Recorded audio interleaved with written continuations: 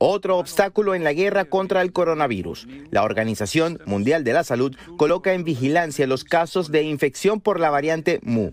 Este linaje, reportado en el Boletín Epidemiológico Semanal de la OMS, registra un nivel potencial de resistencia a las vacunas, una variante que se une al acecho de la variante Delta, clasificación viral que ha complicado las salas de emergencia y cuidados intensivos de Estados Unidos.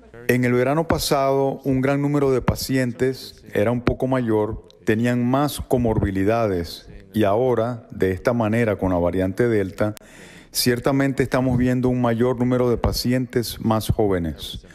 Muchas veces no tienen tantas comorbilidades y vuelven a enfermarse gravemente.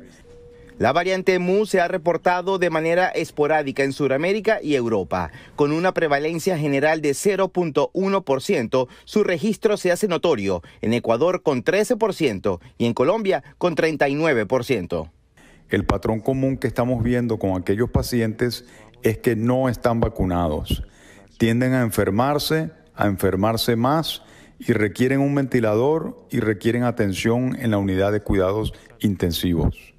Las variantes de mayor impacto según la OMS son alfa y delta. Los expertos insisten en que la mejor contención de la generación de nuevos linajes es la vacunación masiva. La inmunización impide que el virus mute su configuración al trasladarse a otro organismo.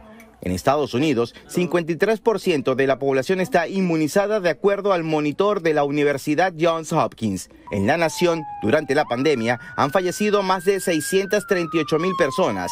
Algunos hospitales registran límites de ocupación en las camas de cuidados intensivos y también fallas en el suministro de oxígeno para asistencia respiratoria. José Perralete, Voz de América, Miami.